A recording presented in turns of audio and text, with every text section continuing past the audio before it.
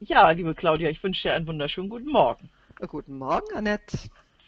Heute beschäftigen wir uns mit diesen beiden Paragraphen, wobei das tatsächlich auch so, eigentlich ist es auch ein bisschen eine Wiederholung äh, dessen, was zuletzt auch war, wobei es dann aber auch schon so eine Aussicht gibt, letztendlich nachher dann auf die Arzneien und ja. wir werden dann nächste Woche uns die Behandlungsmethoden in Paragraph 52 anschauen. Mhm. Ähm, hier erst einmal die Überschrift, ähm, wieder mal in verschiedenen Organon-Versionen ähm, an verschiedenen Stellen. Mhm. Ähm, die Natur hat nur wenige Krankheiten anderen Krankheiten zur homöopathischen Hilfe zuzuschicken und diese Hilfsmittel sind mit vielen Unbequemlichkeiten verbunden. Oh, und Bequemlichkeiten ist gut gesagt, ne? Kann auch gefährlich sein, genau. Ja.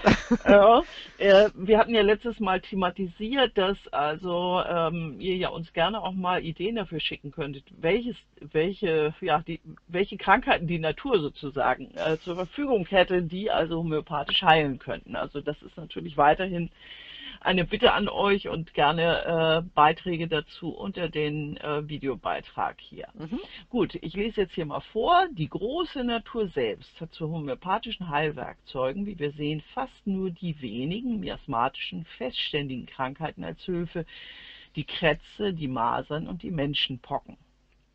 Und dazu die Anmerkung 1 und den oben genannten Hautausschlagszunder, der nebenbei in der Kuhpockenlymphe befindlich ist ähm, Krankheitspotenzen, die zweitens, nämlich die Menschenpocken und Masern, teils als Heilmittel lebensgefährlicher und schrecklicher als das, das damit zu heilende Übel sind, teils wie die Krätze nach vollführter Heilung ähnlicher Krankheiten Selbstheilung bedürfen, um hin wiederum vertilgt zu werden, beides Umstände, die ihre Anwendung als homöopathische Mittel schwierig, unsicher und gefährlich machen.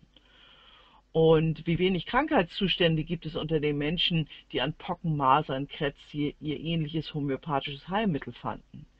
Im Laufe der Natur können deshalb auch nur wenige Übel sich mit diesen bedenklichen und misslichen homöopathischen Mitteln heilen und der Erfolg zeigt sich nur mit Gefahr und großer Beschwerde, schon deshalb, weil die Gaben dieser Krankheitspotenzen sich nicht, wie wir es doch mit Arzneigaben können, nach den Umständen selbst verkleinern lassen, Dagegen wird im anderen Falle der mit einem alten ähnlichen Übel behaftete mit dem ganzen gefährlichen und beschwerlichen Leiden der ganzen Menschenpocken, Masern, Krebskrankheit überzogen, um von den letzteren zu genesen. Und dennoch haben wir von diesem glücklichen Zusammentreffen, wie man sieht, schone, schöne homöopathische Heilungen aufzuweisen, als ebenso viel sprechende Belege von dem in ihnen waltenden großen einzigen Naturheilgesetze heile durch Symptomen Ähnlichkeit. Mir fällt gleich mal etwas auf. Also hier an dieser Stelle möchte ich einfach mal kurz den Begriff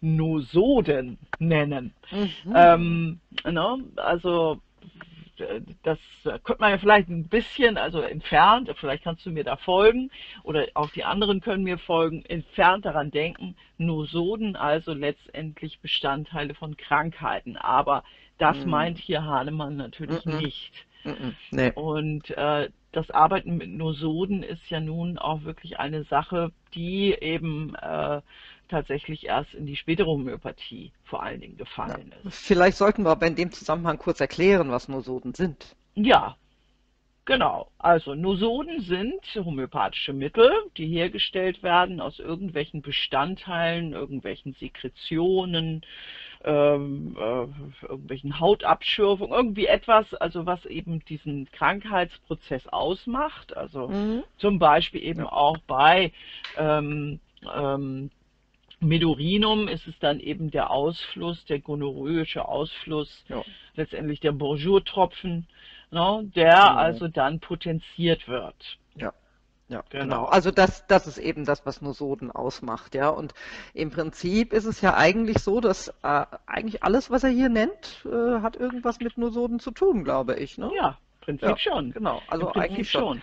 schon. Ähm, was mir in dem Zusammenhang auch noch eingefallen ist, ähm, etwas so aus der letzten Zeit, was so ein bisschen durch die Presse ging. Ähm, äh, wir haben ja äh, in Zusammenhang mit ähm, Long-Covid, ähm, haben wir ab und zu mal ähm, davon berichtet bekommen, dass überraschenderweise Leute, die Long -COVID, an Long-Covid leiden, dann, nachdem die dann geimpft wurden, ähm, eine deutliche Verbesserung, wenn nicht tatsächlich eine richtige Heilung ähm, erlebt haben. Also das kam vor.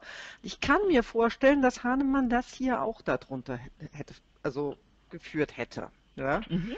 Ähm, ich meine, ich weiß darüber nicht genügend, um das dann tatsächlich beurteilen zu können, ob das jetzt wirklich passt, aber es lässt mich einfach dran denken. Okay, dann werde ich ganz einfach mal Folgendes machen. Ich gucke nachher mal bei äh, PubMed rein, ob es dazu mhm. irgendwie eine interessante Studie gibt und die kann ich ja dann hier auch drunter verlinken. Also ja. Sonst äh, gibt es das eben beim nächsten Mal. Aber das äh, ist natürlich auch mal ganz interessant, da drauf zu schauen. Okay, mhm, genau. hier kommen wir also erstmal zu deiner Darstellung genau. dazu. Mein Bild. Ich habe extra die beiden ähm, ja doch recht gefährlichen Erkrankungen. Ich habe extra die Pocken deutlich größer und bedrohlicher gemacht noch. Ja, ähm, die äh, habe ich halt so also ein bisschen problematischer ähm, äh, eben gezeichnet als die, die Kretze. Ja, die Kretze allerdings dann etwas, was lang ist, ja, also was dann eben droht, chronisch zu ja. werden. Mhm. Ja. Genau. Ähm, genau, also da, das sollte einfach vom Bild her äh, das so ein bisschen darstellen. Also die beiden Masern und Menschenpocken können eben potenziell lebensgefährlich sein, wobei das bei den Menschenpocken noch deutlich mehr der Fall ist. Ja. Und wenn wir jetzt hier sehen, wir haben jetzt eigentlich nur drei so. Ja, im Grunde genommen ist es, ist es so, das sind eben halt die wenigen Heilwerkzeuge und die haben einfach, äh, bringen die Gefahr mit sich, dass sie entweder lebensgefährlich sind, schlecht zu dosieren sind, ja. Ja, was man mit homöopathischen Mitteln machen kann. Und bei der Kretze, naja, dann dauert das eben häufig ganz lange, bis es ja. überhaupt auch selbst überwunden ist. Das wären also die Probleme. Genau. Und dann kommen wir hier zum Paragraphen 51. Mhm. Dagegen hat der Arzt unzählige Heilpotenzen mit großen Vorzügen für jenen. Also für letztendlich diese Krankheit, für die Heilung dieser Krankheiten. Mhm. Aus solchen Tatsachen wird dem fähigen Geiste des Menschen dieses Heilgesetz kund und hierzu waren sie hinreichend. Dagegen siehe, welchen Vorzug hat der Mensch nicht vor der rohen Natur ungefähren Ereignissen? wie viel tausend homöopathische Krankheitspotenzen mehr zur Hilfe für die leidenden Mitbrüder hat nicht der Mensch an den überall in der Schöpfung verbreiteten Arzneisubstanzen. Krankheitserzeugerinnen hat er an ihnen von allen möglichen Wirkungsverschiedenheiten für alle die unzähligen, nur erdenklichen und unerdenklichen natürlichen Krankheiten, gegen welche sie homöopathische Hilfe leisten können. Krankheitspotenzen, Arzneisubstanzen, deren Kraft nach vollendeter Heilanwendung durch die Lebenskraft besiegt und selbst verschwindet, ohne einer abermaligen Hilfe zur Wiedervertreibung wie die Krätze zu bedürfen. Künstliche Krankheitspotenzen, die der Arzt bis an die Grenzen der Unendlichkeit verdünnen, zerteilen, potenzieren und in ihrer Gabe bis dahin vermindern kann, dass sie nur um ein kleines stärker bleiben als die damit zu heilende ähnliche natürliche Krankheit, so dass es bei dieser unübertrefflichen Heilart keines heftigen Angriffs auf den Organismus bedarf, um selbst ein altes, hartnäckiges Übel auszurotten, ja, dass dieselbe gleichsam nur einen sanften, unmerklichen und doch oft geschwinden Übergang aus den quälenden natürlichen Leiden in die erwünschte, dauerhafte Gesundheit bildet. Uff, ja. für lange Sätze wieder mal. Das ist ein sehr langer Satz. Ähm, ja, und er hat natürlich hier jetzt das Lob der homöopathischen Arzneimittel gesungen. Ja, ich habe das jetzt hier einfach mal nur einen Teil davon gezeigt. Also wir haben jetzt den Vergleich hier zwischen den äh, natürlichen Krankheiten und den ganzen verschiedenartigen, hier durch ganz verschiedene Fläschchen dargestellt, homöopathischen Arzneien. Ja? So, und ähm, das, was er eben unter anderem sagt, ist also allein diese Verschiedenheit im Verhältnis zu dem, was wir an den nur drei Sorten von genau. ähm, natürlichen Krankheiten haben, ja, allein also diese Verschiedenheit ist schon Fläschchen. hilfreich tausende Fläschchen konntest du hier nicht Nein, zeichnen. Nein, wollte ich jetzt hier nicht zeichnen. genau.